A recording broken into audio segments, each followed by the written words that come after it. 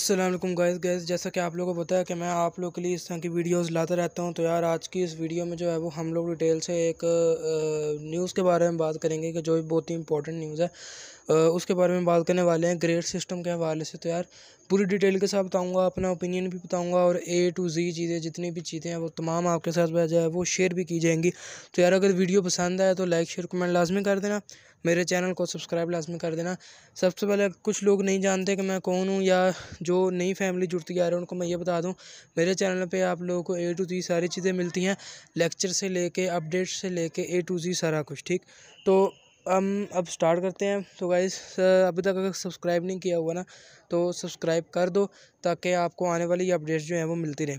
तो यार स्टार्ट करते हैं। तो हमारे पास जो बोर्ड की तरफ़ से जो न्यूज़ आई है गाइस वो ये है कि अब जो ग्रेड पहले तो होता था कि कि आप लोग को के जितने भी आप लोग का रिज़ल्ट आता था, वो एक नंबर की बेस पे आता था। लेकिन अब बोर्ड वालों ने क्या किया है? अब बोर्ड वालों ने किया है कि आप लोग का जितना भी रिज़ल्ट आएगा, वो आपके नंबरों की बेस पे नहीं, बल्कि आप लोग की ग्रेड ग्रेड की बेस पे, ठीक है? जैसे कि आप लोग को पता कि ये चीज़ जो है, पिछले चार सालों से चलती आ रही है कि मतलब चार सालों से आप लोग सुन रहे हो कि बहुत से चैनल्स ने वीडियो भी चढ़ाई है कि इसके ऊपर हम लोग इम्प्लीमेंट मतलब अभी वो करने जा रहे हैं या सोच रहे हैं।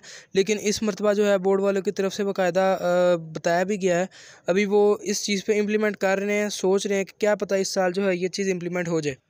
कि आप लोग को जितने भी जो रिज़ल्ट हैं वो एक ग्रेड की सिस्टम में अब होंगे। लेकिन इस साल में फ़र्क क्या है? फ़र्क ये है कि ग्रेड सिस्टम पहले होता था A B C D E लेकिन अब जो ग्रेड सिस्टम है वो उन्होंने पॉजिटिव भी और नेगेटिव भी करने की तजवीज़ पेश की है अभी, ठीक है? किया नहीं है, तजवीज़ पेश की है कि जैसे ग्रेड ए है तो ग्रेड बी भी होगा। इसी तरह grade A grade great positive वे फिर ग्रेट नेगेटिव है फिर ग्रेट पॉजिटिव बी फिर ग्रेट नेगेटिव बी ठीक है, इसी तरह ग्रेड ग्रेड पॉजिटिव थी तो ग्रेड नेगेटिव सी इस तरह जो है वो ग्रेड आप लोगों को देने की जो है वो उन्होंने तजवीज़ पेश की है।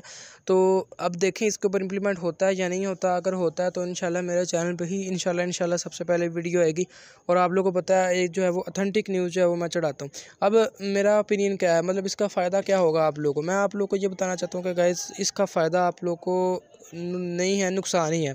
नुकसान कैसे नुकसान ये है कि देखें, अगर आप लोगों ने जैसे फ़र्ज़ करें किसी एक बच्चे ने वन थाउज़ेंड एटी मार्क्स लिए हैं। ठीक है, अब उसके लिए भी ए ग्रेड है। दूसरा बच्चा है, उसने one thousand eighty five marks लिए हैं। उसके लिए भी ए ग्रेड है मतलब प्लस ए ग्रेड तो अब जो one thousand eighty nine marks लेने वाला बच्चा है और one thousand eighty nine marks लेने वाला बच्चा है, उसमें और उसमें फ़र्क तो कोई नहीं रह गया। ठीक है मतलब उसमें जो डिफरेंस एक लेवल का डिफरेंस आता है, वो डिफरेंस कोई नहीं है। ठीक है तो इस इस वजह से जो है ये एक, मैं तो जहाँ तक मेरा ख्याल है कि ये एक सही बात नहीं है कि एक बच्चा वन थाउज़ेंड एटी नाइन ले दूसरा बच्चा वन थाउज़ेंड एटी फाइव ले उसको भी वही ग्रेड मिले उसको भी वही ग्रेड मिले। जगह तो दोनों की एक ही बराबर तो नहीं होती ठीक है? तो ये इसका एक जो है वो ड्रॉबैक है।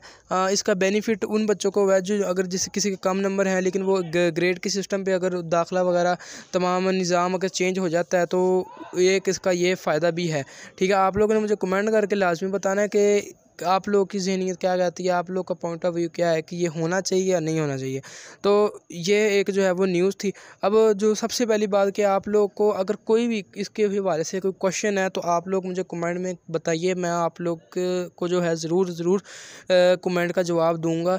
जितने भी मैंने पिछली वीडियोस बनाई हैं उसमें कमेंट आए तो शायद ही मैंने कोई किसी दो तीन कमेंट्स हैं जिनका मैंने जवाब ना दिया हो, वरना वो भी मैं बिज़ी की वजह से मैंने जवाब नहीं दिया, वरना हर कमेंट का मैं जवाब देता हूँ। तो अभी अगर कोई भी कोई भी आपको किसी किसी भी हिसाब से क्वेरी हो तो आप लोग कमेंट में पूछ सकते हो या फिर मेरा व्हाट्सएप ग्रुप का लिंक दिया हुआ है, आप लोग व्हाट्सएप ग्रुप भी जो है वो क्या कर सकते हो, मेरा ज्वाइन कर सकते हो।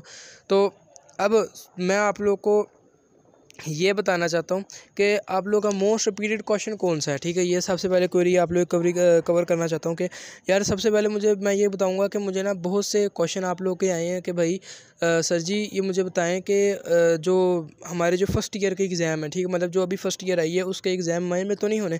तो भाई इसका सिंपली आंसर मैं आप लोग को यही दूँगा कि आप लोग कभी फ़िलहाल पढ़ो ठीक है? क्यों? क्योंकि अगर मई में पेपर होने या जून में होने जुलाई में होने वो भी किसी को नहीं पता ठीक है? अगर कोई भी चैनल इस हवाले से न्यूज़ चढ़ाता है तो वो गलत करता है, ठीक है? इस हवाले से किसी को भी नहीं पता।